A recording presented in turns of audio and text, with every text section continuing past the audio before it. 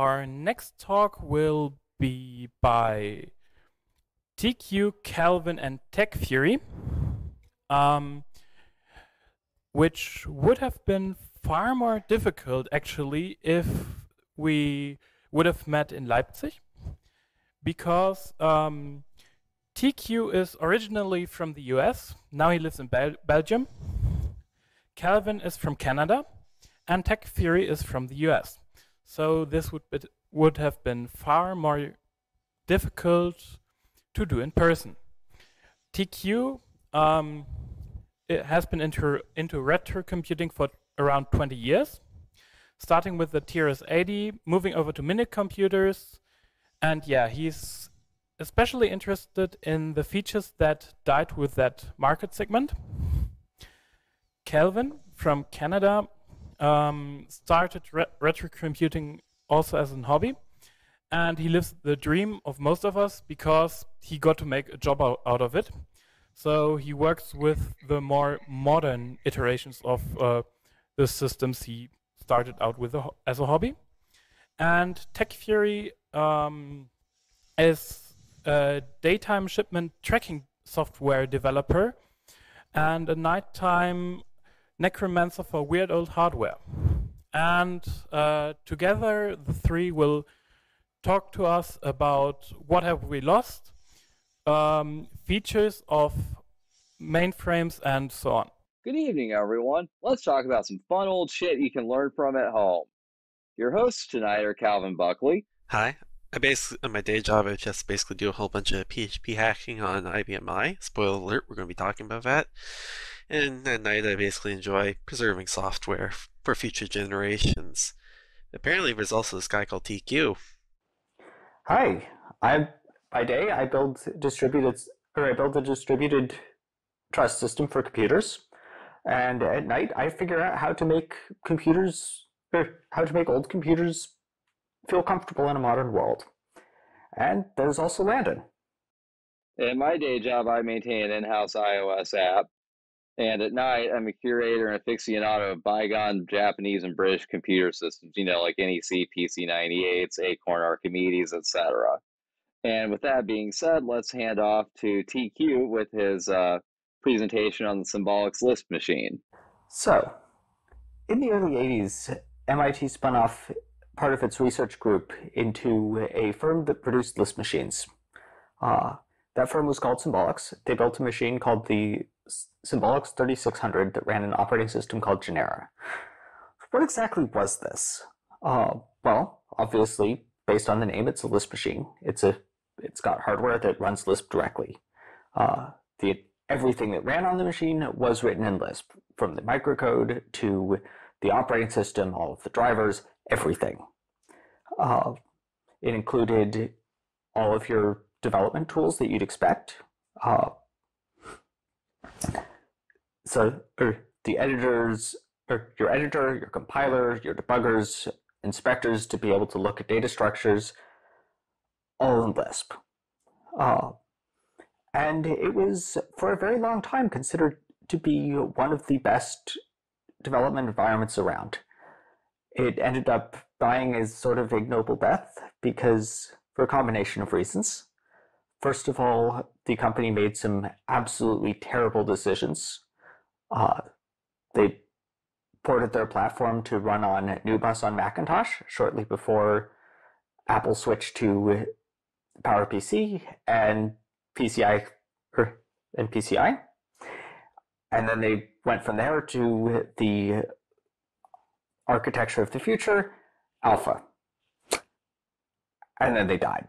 We're not here to talk about the death of Symbolics. We're here to talk about their life.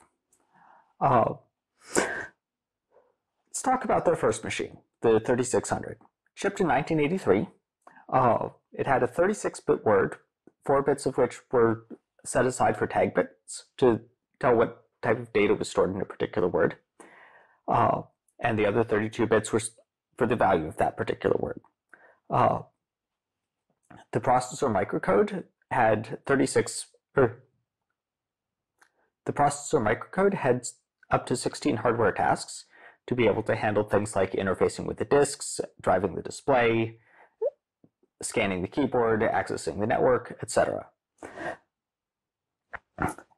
Uh, that microcode also provided a high-level instruction set that had instructions like cons to allocate memory and garbage collect if necessary. Uh, it also had your usual complement of arithmetic instructions, add, subtract, etc. But unlike most architectures, even modern architectures, the arithmetic instructions operated on, on arbitrary precision words, even possibly rational numbers. Uh, at one point, they ported a C compiler to it. It just used the native machine integers because why not? And somebody tried to run a program that determined the size of the word by shifting one left until it ran off the end. And this program ra- ran for about an hour until it ran out of memory. so, uh, I could explain the inter I could explain the interface, but it's probably easiest to start with a demo.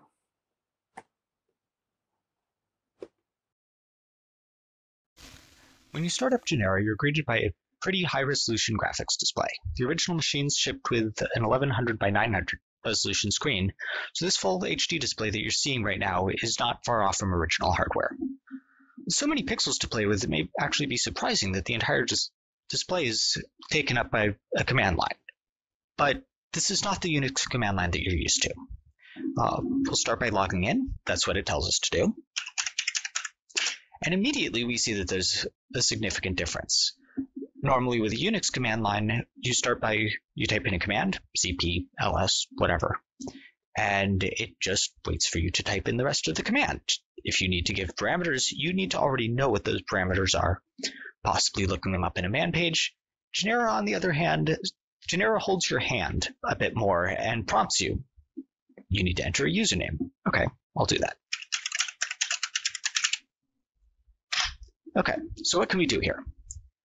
As any Unix user knows, the first thing that you do in any terminal, whether or not, or whether you've just changed the directory or whatever, first thing you do is list the, or is do ls. Genera spells it a bit differently. And I'm going to list my home directory, which hopefully is already selected. This still looks very much like a traditional Unix directory listing. But you'll notice that as I mouse over it, you, it actually highlights individual lines. And this is the first hint that there's something really special going on. Suppose that I want to list the contents of one of these directories. Uh, I'll type in show directory. You'll notice actually that I just typed in the first couple characters and it auto-completed.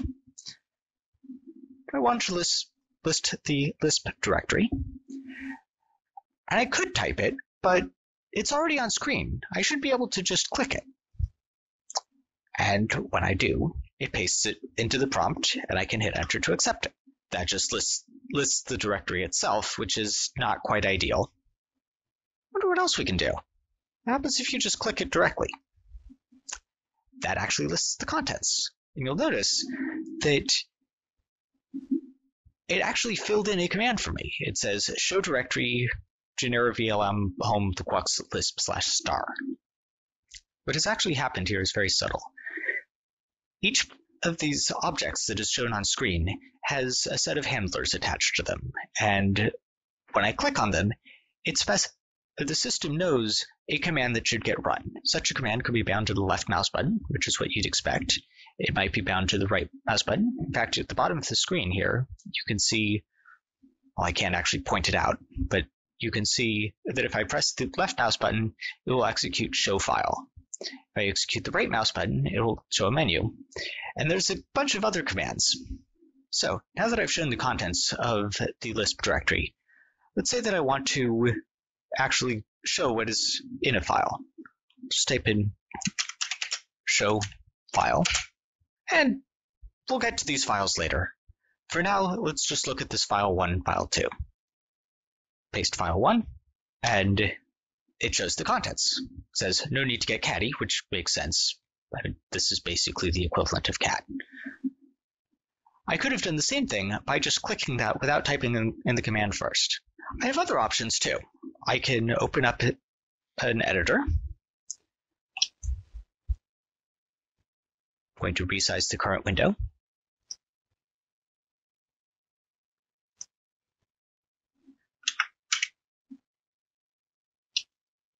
And open an editor and move that aside so that I can see the window underneath. This is Zmacs. As you can probably guess from the name, it's just an Emacs clone. The Z actually stands for Zwei, which stands, which in turn stands for Zwei was EINE initially. And in case you're curious what EINE stood for, EINE is not Emacs. It's a long good pun. Being an Emacs clone, we can open a file with Control X, Control F. We know that we want to look at file one. So we can click it and it opens. Earlier, we, we clicked file one and it, and it printed it down below. If the active window is, in, is a Emacs window though, we can click another file and instead of printing it in, in the Lisp listener, it opens it. This shows that each window has an input context associated with it. And the input context controls what commands will, will be automatically executed when you select or interact with some object that's on the screen. I'd like to point out one more feature of the command line. I remember reading that Lisp was widely seen as the language to implement advanced AIs in, and I decided that I didn't care to actually write this talk. I, I wanted the system to do it for me. It's Lisp, it's good at that. So I made a command.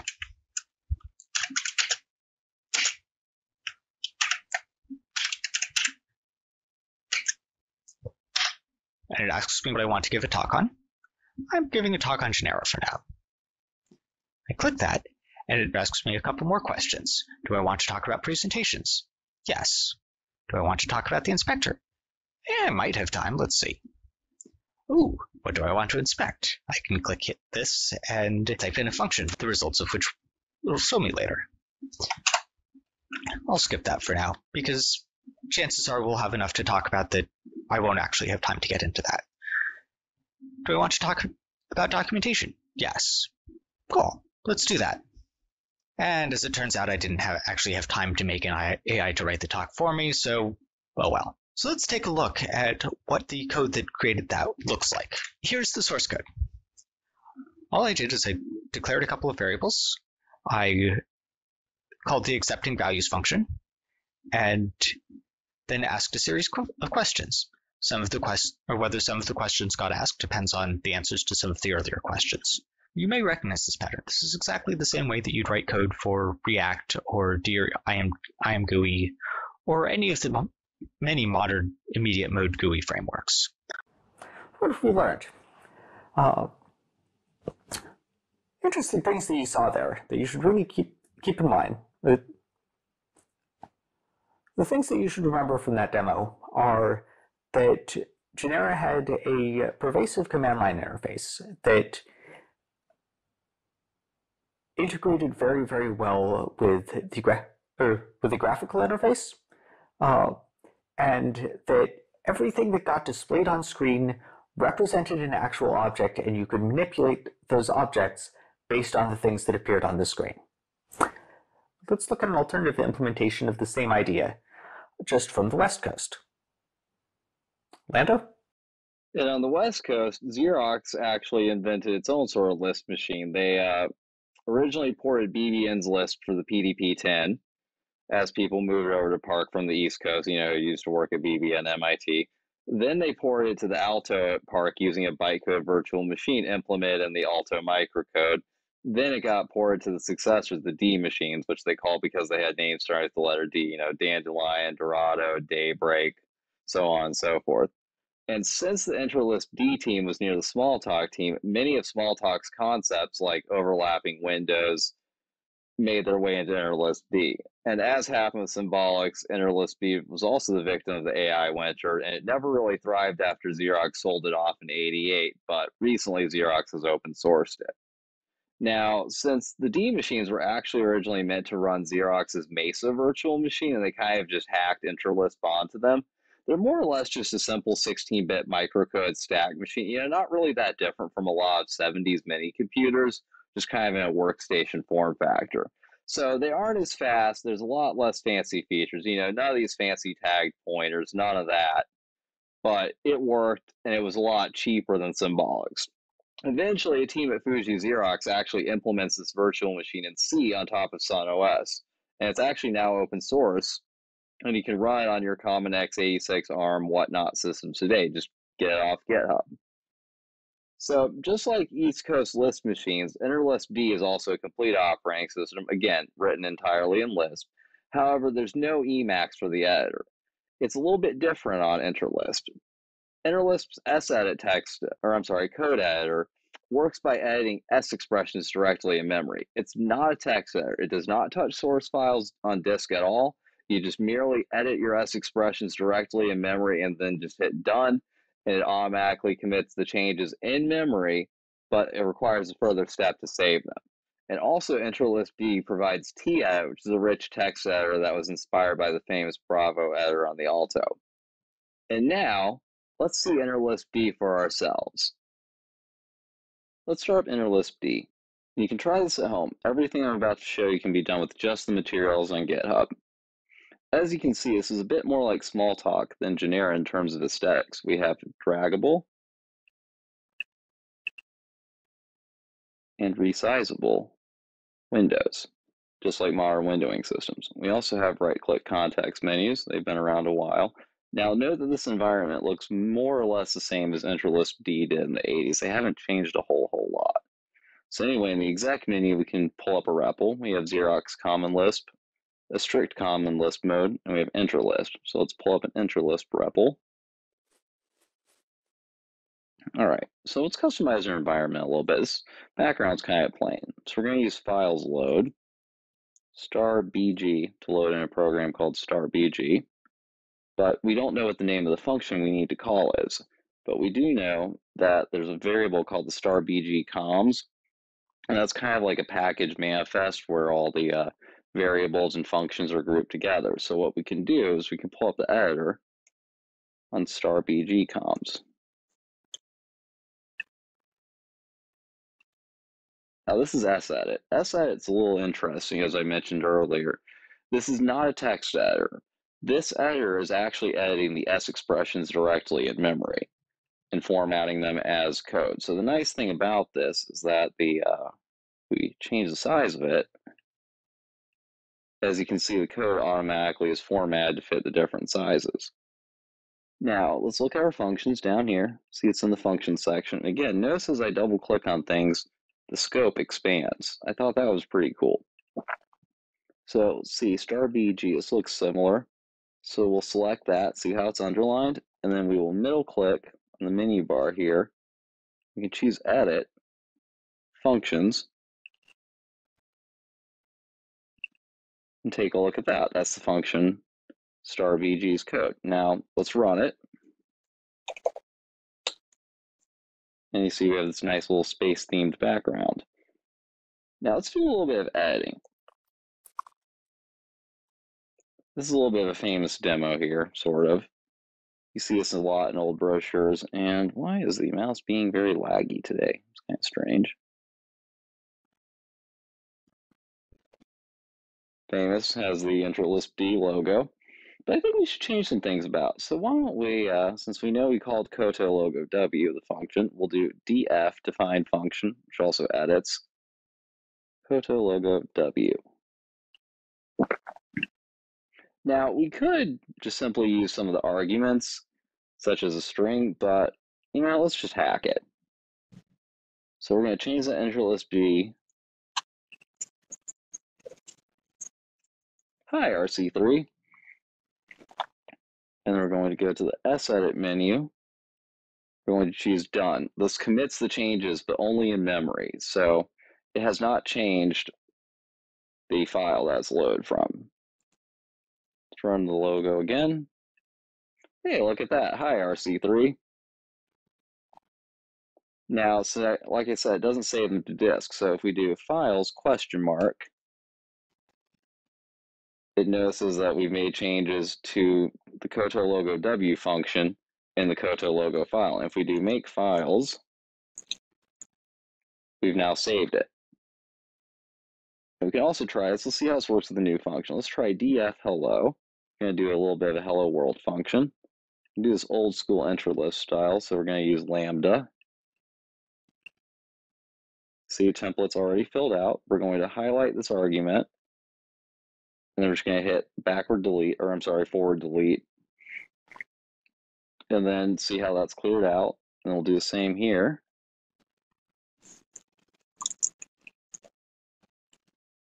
Notice when I type the closing paren, it just simply closes it. It doesn't insert anything. I can't just type more. And this is very structured, this editor.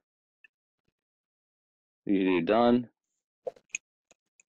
Now we have our hello world function. And if we do files question mark again, it's going to ask where we would like to put it.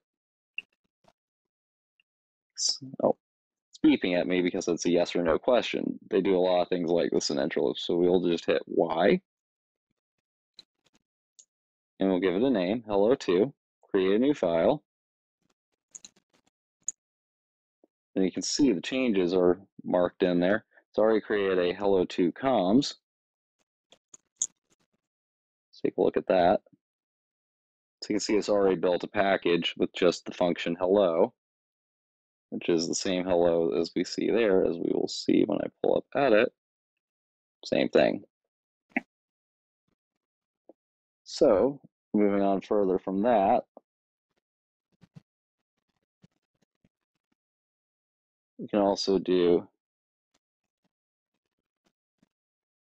to save it, make files. And we can also explicitly do that with make file. Again, and notice there's a version number. This is inherited from TOPS 20, which is uh, what they ran this on originally before they ported it to the D machines. Now let's take a look at the T-Edit document editor and the uh, file browser. So if we right click on here, we can choose the file browser.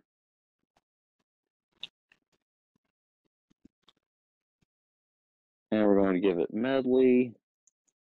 Notice the use of the greater than symbol for the path separator. So all right, we're going to take a look here. Table of contents. This is the Lisp users library. This is basically a contributed programs from users. So we select it, like such there with the left button. We're going to go to Edit, T-Edit, ask us to define our window. See, take a look at this. This is a T-Edit, rich text editor, kind of getting a little bit of a uh, generic document examiner vibe here almost, and it's in fact a complete rich text editor. Let me see if I can get the, here we go, expanded menu.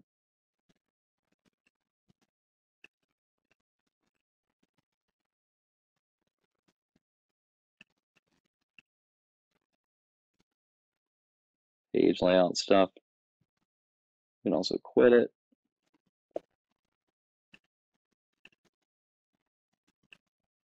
Close that window. And similarly, most of these entries, like say star BG we were looking at just a little bit ago, let's find that.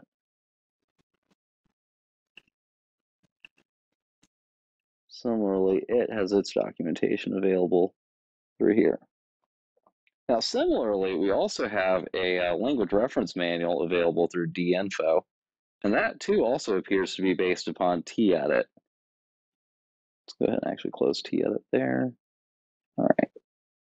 So you can navigate through this, it's all hypertext style.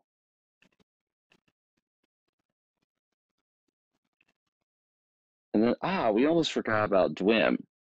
Dwim is pretty cool. Dwim is do what I mean. And so remember how we typed hello, and that has to be in all caps because Lisp is case sensitive in this regard. But let's see what happens if I type it all lowercase. It suggests for me automatically that perhaps I meant all uppercase, or I could tell it it's wrong, undefined function. And similarly, as you might expect from a virtual machine, virtual memory persistent setup, you can also simply log out just got dwimmed again to all caps. And then that will save the entire world. And we can pull it back up again, just exactly where we were. And that's it for the InterLisp D demo. And now we will go on to our next and last platform I will be demonstrating today, BTRON, Japan's attempt at designing their own desktop operating system from scratch. But what is BTRON? It's an outgrowth of the Tron project, which basically was a Japanese academic, academia initi- industry initiative to develop a new set of operating systems and standards for a computerized society of the 21st century. And they came up with all sorts of standards like the Tron keyboard. They even have CPU architecture. The end goal of all this was to have essentially a world in which all of the objects in your everyday life would be based on Itron embedded operating systems, interlinked through a network of Ctron machines to your, your BTRON based desktop computer. And so BTRON is known as BusinessTron.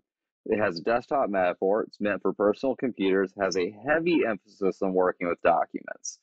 And one implementation of it is still sold today as a VMware image.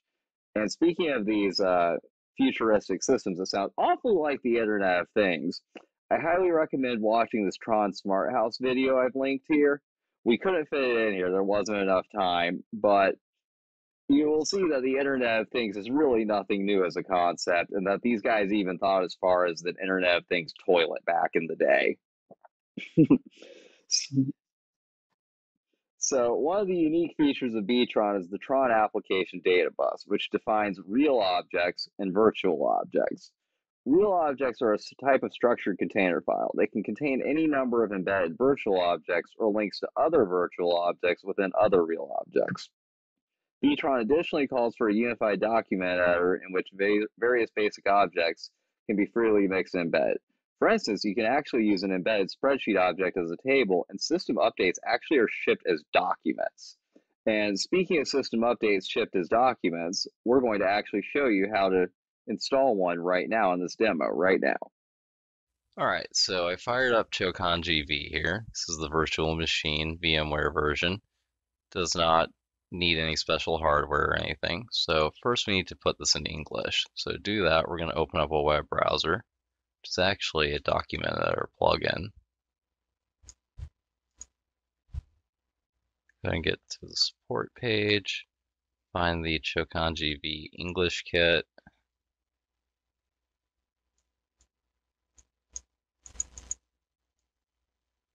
We'll download it. Tell it to save it as an archive file. Okay, then we open it and we'll drag the uh, document out. So now we've created the real object containing the uh, English patch and we'll open it up. It's actually a variety of virtual objects inside. See, I'm double clicking on them. It's very hypertext like. We'll go into installation. If you can see right here, the update is actually a blob within the uh, document. So we'll go ahead and go to System Setup, Version tab, drag it in here. Once it's a reboot, we'll go ahead and do that. All right, then we'll open the document again. Actually, before we do that, we need to switch the language to English. Another reboot. Okay, now we're in English. We'll open this back up again. And what we can do here is if we, actually here's an even cooler way of doing this. We can right click on it here, go to real object, virtual object network. Ah, you can actually see the structure of all the virtual objects within this document. So if we see this right here, we can do copy to tray, and then copy from tray. I guess the tray is what they call the clipboard. And let's see, let's open up a text pad. It's kind of like a basic document.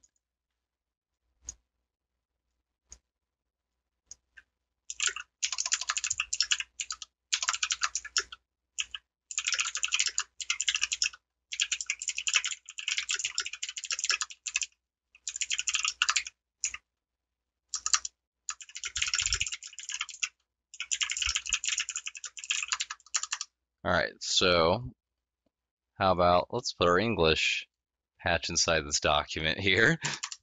As you can see, it's even been moved out of there. Uh, let's see. Oh, let's open up a drawing. Draw some funny little shapes. You can just, you can either I can save it to a new real object or the original.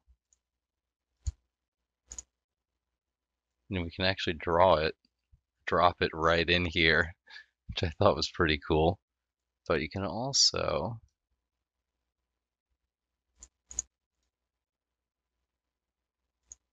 You can also embed individual objects from within there. So those are also embeddable because again, it's the same document editor. But here's what I thought was really strange. Let's open that web browser again.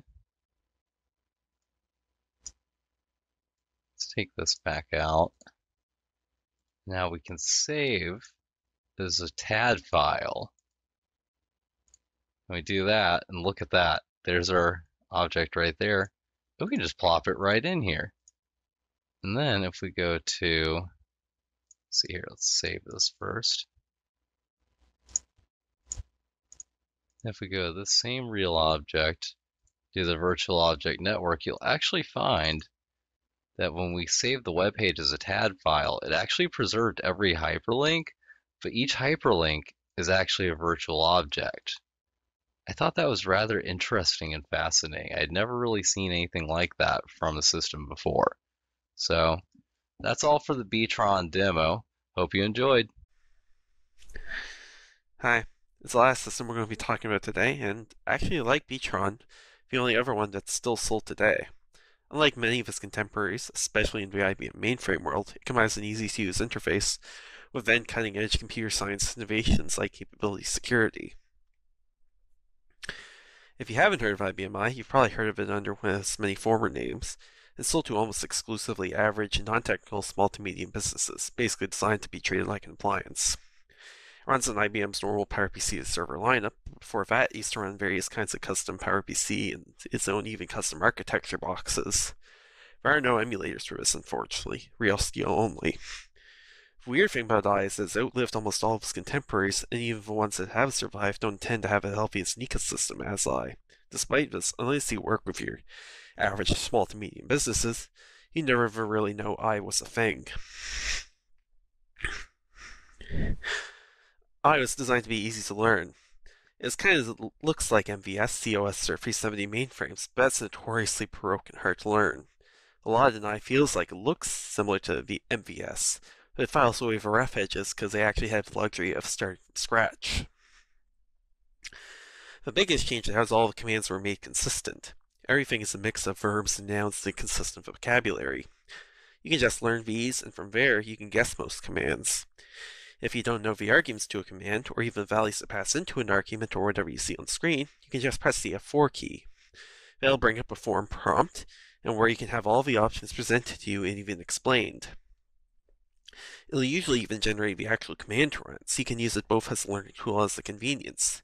If you see something on the screen that you're unsure of, you can just press F1 and it'll show context-sensitive help for anything under the cursor. As for how the F4 prompt works, it's because you're not really invoking the program directly.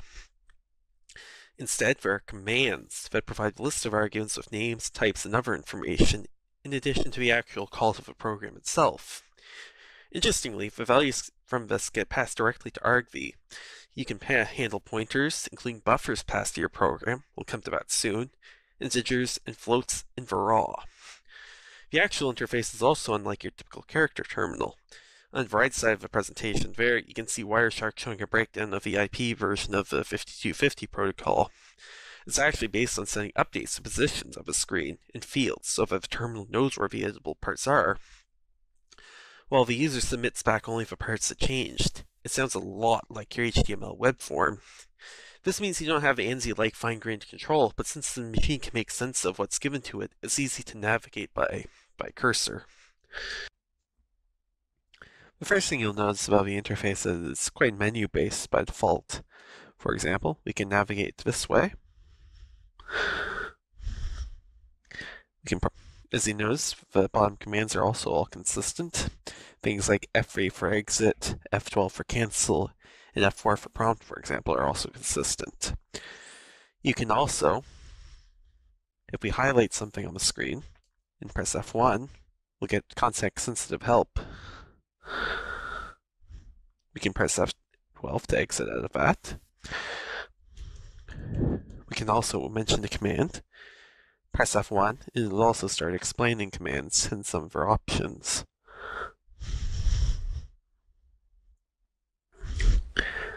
So, we hit F3 to exit here. And if we do an F1 here, you'll also notice that the help system is hypertext. If we press enter here, when the cursor's there, there, we can navigate and then we can press F3 to exit. The difference between F3 and F12 is that basically F3 exits out of the screen entirely, while F12 will only exit out of one screen.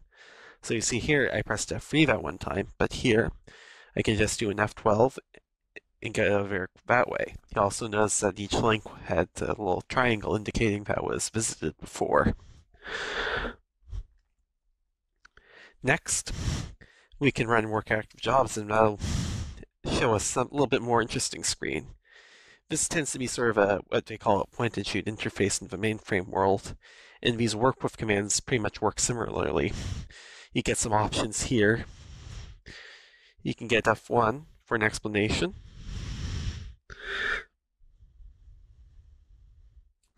Of each option with the little detail view and so on. As well, you can also put in these options here, and you can fast do things like delete or multiple files. In this case, we'll enter 5 to get to the work with screen. And we'll just hit enter here and kind of cancel out of that, but as you can see there, it can do multiple things at a single time. For a little bit more interesting screen, however, you might you might want to shut down the system, but you don't know all the options for it. So what you can do here is you can press F4, and it'll show you an, an explanation of everything. And the context sensitive help here works too. You press F1 and on option, and it'll explain it for you. And as well, you can even F4 again to get more options available. And as you also saw, the vocabulary is also consistent. If we want to work with objects, in, say, the Advent 2020. This is TQ's library for his Advent to code stuff, and he's doing in COBOL. And the Oliver is just kind of a special option, almost kind kind of like an Atom, except and behind the scenes it's all handles of strings. Scenes there. We can scroll through, and again we get the same point and shoot interface. We can hit delete here. As you can see there, when we enter something where we shouldn't, that is, it's not a marked field, it'll give us an error. We can do is we can press the reset key in the simulator, Control R, and then we can just space over anything we don't want here. So I'm not probably not going to delete the things, but as you can see here, if we press enter, it would delete the stuff there. But Evo would prompt, I'm going to be a nice person and not going to do that. So that's just kind of a quick overview of what the interface is like on these systems. Part of the appliance nature is that SQL is built into a system and even implemented at the kernel level. Despite that, it's basically built on the same primitives of the rest of the system, the same record files that source code is stored in are used for SQL tables. A variety of richer objects that aren't bags of bytes provide the basis for more complex objects. The interesting part is how you store and work with them. There is no traditional file system in the sense that hot data of memory becomes cold data on your disk in a separate structure. Instead, all objects are stored in a single address space. Each object has an address that persists even on reboot. If data isn't in RAM, it'll be paged in through page faults, and committing it basically flushes changes back to disk, kind of like mmap on Unix. The interesting part of this is you can simply work with pointers from other programs like your own and hold onto them without worrying about them disappearing when the program dies. It changes how you think about buffers or even the difference between programs and processes. Think of the term orthogonal persistence. How is this even secure? I is probably the most popular example of a capability system in the wild. Each pointer is actually 128 bits, 64 bits of metadata and 64 bits of address space. Outside of a pointer is a tag, which when written to invalidates the pointer. Since only trusted code in the kernel can generate the tags, they function effectively as capabilities. The tags are stored in ECC uses some unfortunately undocumented PowerPC extensions to actually work. Using machine-independent bytecode is the other part of a security model. Since native programs aren't allowed, well except outside of an AIX syscall emulator, but that's a long story, all programs get compiled to native code by the trusted translator in the kernel. This enforces the security model, like say how a JVM would work, It's even allowed the transition from their custom CISC processors to PowerPC, and even allowed them to change the kernel ABI. We're going to show you a demo of some of the behind the scenes tools of IBM i. Unfortunately, a lot of this isn't too well documented because it's usually intended for IBM technicians, but we'll show you here. The next thing we're going to take a look at is SST, the System Service Tools. These provide some low-level insight to what's behind the curtain on IBM i. It's usually intended for technicians or people have to get information for technicians. So, we'll start it. It has its own separate credentials from the rest of the system because this is probably something you don't want to give people that don't need it. From this menu, you can do things like work with disks or VMs that you might also have common use for. In this case, we're interested in the service tools. And with service tools, you get things like being able to trace the kernel, as they call it, licensed internal code in IBM speak, the kernel logs, kind of like a kernel syslog, and storage.manager, that's the crashes. But we're interested in particular is display alter dump. This has a bunch of uh, things like special commands, a hex editor that lets you look anywhere in memory, which is really interesting in the system with a single level store.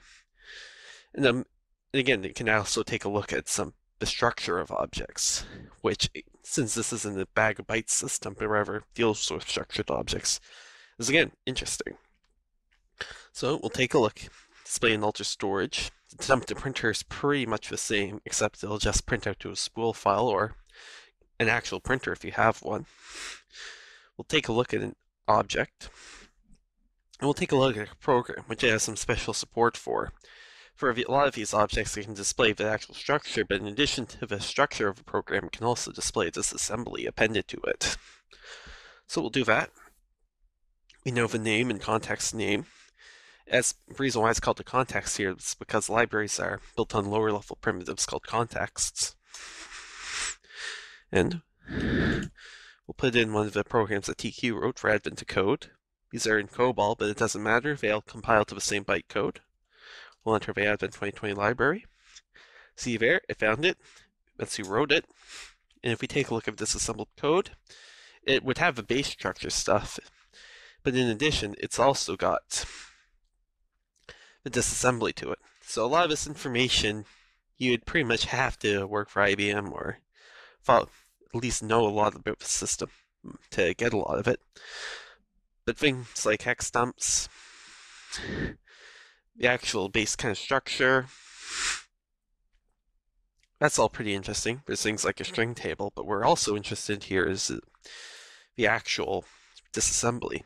And see there, it looks like a normal PPC disassembly, except there's a bunch of weird instructions like set tag and txair. So, as you can tell here, this probably isn't the PowerPC assembly that you're used to, even if you are used to PowerPC assembly. But that's pretty interesting. Why don't we take a look at what the actual object looks like? So I should have probably F12 there instead of F freed. but it's nice enough to remember that and we're going to go into the hex editor. This is capable of making alterations, but we probably don't want to do that. Here we just kind of want to scroll and actually take a look at things. But this assembler has some interesting features like being able to uh, decode PowerPC instructions that are there. If you enter I there, it can also do things like follow pointers and such. But we're kind of done with that. Now let's take a look at a different kind of object that's a little bit more interesting.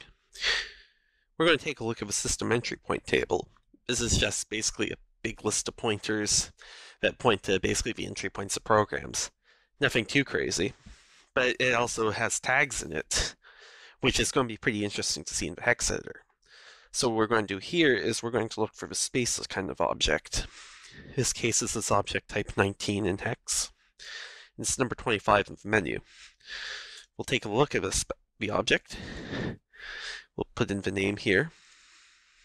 and it has a special object subtype of C3. We need to know this because it doesn't really know how to deal with it otherwise. So it's found it. And we'll take a look at base structure. It's nothing too too crazy here. Again, this would make more sense if you worked for IBM. So, we'll have 12 here, and we'll get into the hex editor. As you can see there, scroll down far enough. This type the T here is for tag. And those over there are just a again, bunch of pointers.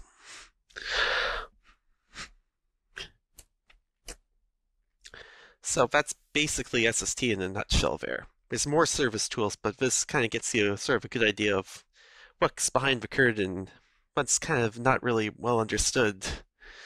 But it would certainly help if you had to send to IBM. Anyways, that's it for IBM i. We'd like to thank you for coming to the end of our vintage computing bullshit you can learn from session. But wait, we've got more. That's right. We do have more. In fact, you can try almost everything we've shown you at home. We've got some emulators here for Genera, Interlisp, and it is possible to get your hands on Chokanji and run it in VMware. That's an exercise up to the reader, but you can probably find if you look around. But unfortunately for IBM i, there's no emulator. And if anyone wants to rise up to the challenge, go right ahead. We would love to see it. And we also have some additional resources on Interlisp, Btron, Genera, and IBM i right here. And we also have an IBM i hobbyist Discord. We hate Discord too, but hey, it brought a bunch of enthusiasts out of the woodwork, so we can't complain. It's also bridged to an IRC channel for the traditionalists like us. And that's it, everyone. Thanks for your time. Hope you enjoyed watching our presentation. It was a quite fascinating talk, and um, I see why you called it uh, "What We Have Lost" because, um, yeah, it's quite a lot that got lost on in the progress of the uh, dominance of the PC.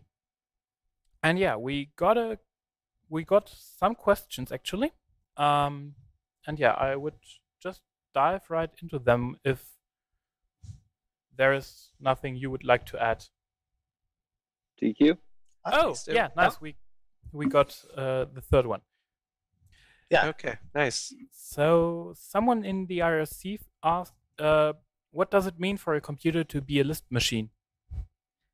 So, um, it's really, or to me, there's a couple of, there's two main points. First of all, uh, on a Lisp machine, the instruction set and entire system architecture is built around the idea of running Lisp. And so you had features like garbage collection in microcode that uh, you had uh, har- or you had hardware management of Lisp arrangement or list arrangement. So, for example, uh, you could not tell from a, u- a user perspective whether a list was stored as just contiguous cells of memory or an actual linked list.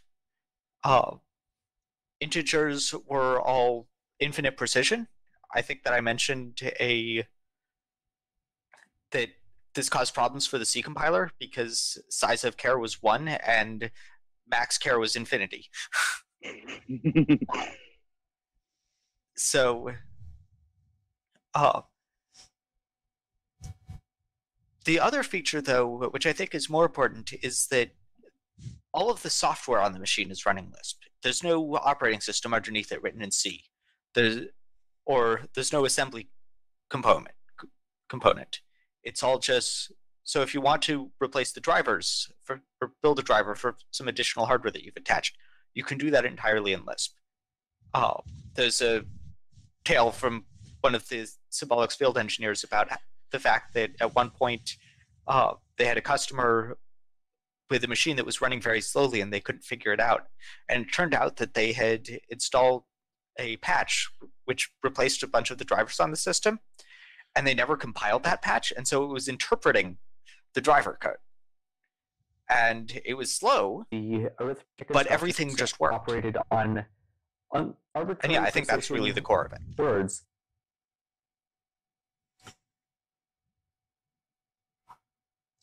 Um, what about Interlisp? Well, I don't actually know that much about Interlisp. You'd have to ask TechFury. Interlisp, it seems, doesn't really do as much in uh, fancy hardware and microcode as Genera does, and I think a lot of this is because the hardware it ran on, the D machines, was really mainly meant to run Xerox's uh, Mesa virtual machine, and so they kind of just hacked Interlisp onto it by coming up with new microcodes. So I think they kind of just had to work within the constraints of that. So for the most part, you don't really see things like hardware garbage collection or rather microcode based garbage collection. You do see the basics though, like the fact, you know, like car and cons and such are all basically literally mapped directly to opcodes. That's probably the biggest thing I've noticed from digging into the D machines. Yeah, my impression is it's basically West Coast versus East Coast Lisp machine. It's a Biggie and Tupac of computer science. well put, Calvin. Well put.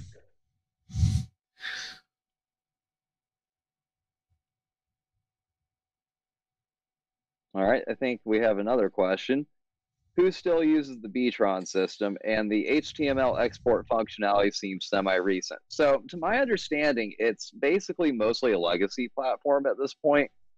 It, as far as I understand, has a contingent of uh, academia users, mainly humanities, who tend to use it because it has better support for, shall we say, old slash deprecated kanji characters and I think it's just kind of stuck with some of them through inertia mainly. And I believe the HTML export stuff showed up sometime around the turn of the century, give or take, probably when the uh, changeover to Btron 3 slash B-right/V slash Chokanji, which would have been about 98, 99, 2000, give or take. So I think it's about when that ended up in there. All right, and it looks like our next question is what's the most recent advanced or interesting Lisp machine. What do you think, TQ? So the cheeky answer is Emacs. Uh, because, yes, there is a C core to it, but all of the interface functionality and uh, all of the interaction is purely Lisp. Uh, the answer to the question that you were probably asking, though, is that there isn't really an answer. You've got the er, the Genera side and the Interlisp side don't really share any. Uh, er, they don't share a common ancestor. Uh, Lisp was very popular in academic and AI communities in the 80s and very early 90s. And so Symbolics commercialized the first Lisp machine, but Xerox came along and developed their own, for, starting from scratch, and came up with Interlisp. And the two were developed in parallel and didn't really cross pollinate very much. Uh, so uh, Interlisp is still maintained, and it's worth using. And in particular, Interlisp can be used uh, without any question about legality because it's all open source now. Yeah, the uh, a VLM source is kind of floating around, but the owner of rights is still unclear. Interlisp is explicitly free software now. And and one thing to add, I do find it amusing that both Interlisp and Genera share not really common ancestor, but a common sort of source platform of a PD, uh, PDP-10. Ah, yes, the Lisp classic, the PDP-10. Ah, the PDP-10 is a beautiful machine. I could give an entire talk on its instruction set. Uh, right. Sequel bait. So it looks like our next question is it really better to run the GC in microcode instead of normal code on, on an additional core? And that's a really good question, I think. And I honestly wouldn't be surprised if the answer is that no, it's really not. I think that's just what made sense at the time because you have to remember at the time they were designing all this stuff, it was just trendy to do everything in microcode. I mean, look at the Xerox Alto. It basically bit bangs all its I/O in microcode tasks. Much like a Cyrix Media GX came back. It's not. It's not just that it was trendy. At the time, in order to get decent performance running Lisp, you needed to do it in microcode because machines just weren't very fast. Right. And we didn't have pipelining. We didn't have the fast memory buses that we do now. Well, technically, It you may have, but you had to buy like like um a 360 Model 90 or a Cray One or something like that. Yeah. And there's no way that you could assign one of those to a single person. Nope. And the Cray probably wouldn't have been that great of an answer either because the Cray is really only designed for vector calculations. Exactly. So, uh, as it turns out, one of the big reasons that the Lisp machines died is that Franz Lisp ran fantastically on a VAX and would or and didn't need any of the special hardware support that the Lisp machines offered. Event event basically RISC processors just put the final nail in the coffin.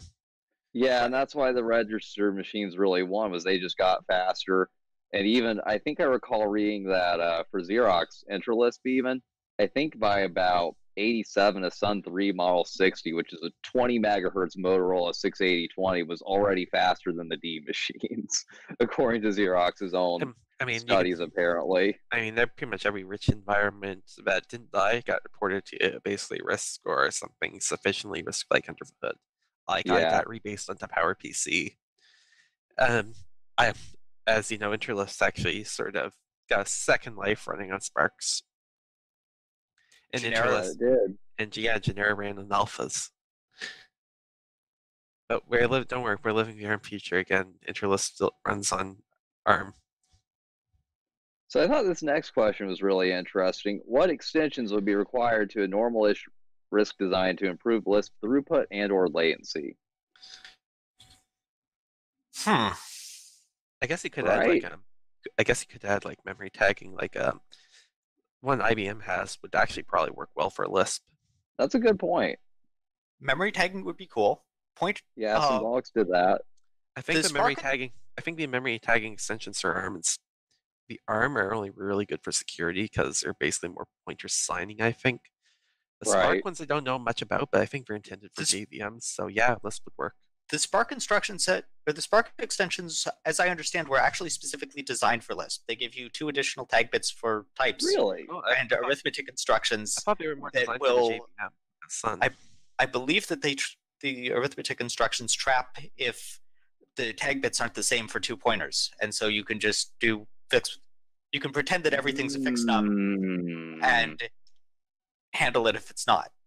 Yeah, That that, makes sounds totally. That sounds like it would work for JVM, but what works for JVM would probably work for a Lisp. Uh, Yeah, I d- invent ca- and what's little known about the IBM extensions, all they really do is there's no hardware enforcement. Rather, it's just like acceleration for basically software-based checks.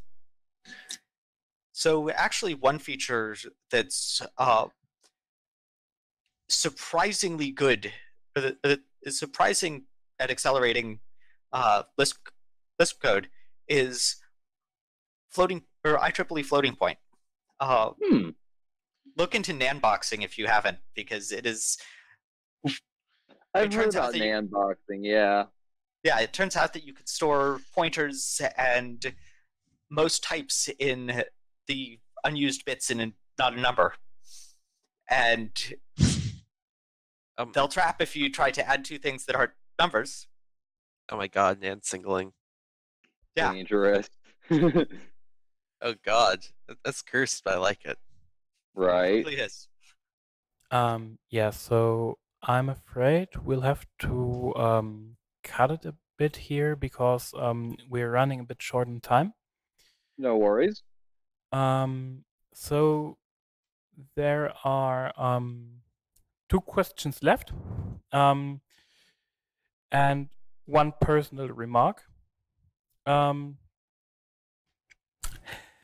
yeah, uh, the one, the first one is um, if the BTRON sit- situation um, is similar to what happened to OS2's respectively eComStation. So I'm not sure if you can really draw an analogy there because eComStation is kind of a, uh, if I recall correctly, the whole arrangement with eComStation is that it's a OEM distribution of OS2. But it's a little bit different with BTRON because BTRON is an open specification that realistically only one vendor really made implementations of it's- it's- personal imagine- media. ima- Imagine if basically there's only a single POSIX implementation standing. That's basically it. What he said. So, and um, I think someone asked, uh, when are you going to give a uh, talk on the PDP 10? Maybe next year. Oh, yeah. Hopefully. That's, that's I think that was then quite easy to answer. And someone personally remarked that uh, they have a 60-page paper on the on the Tron in case in case someone was listening on the IRC. Um, but it's in German, so yeah. If you speak German, uh, maybe this person can. Uh, Huh? Maybe this person will be will suit your needs. Um, also, um, there was the request from the IRC to um, to the speakers to maybe hang around a bit longer in the IRC Oh. to um, to answer any Yeah, additional where is questions there because we sadly have to end the talk as your time slot. So yeah, uh, thank you, thank you for taking the time to prepare all this. Thank you for joining us from such remote locations. Thank you for um, standing up early or or late. Well, it's really early for us, so Yeah. So thank you very much for that, and have a nice uh, remote chaos experience. Thank you. Thank you. Thank you for your Thank you. talk.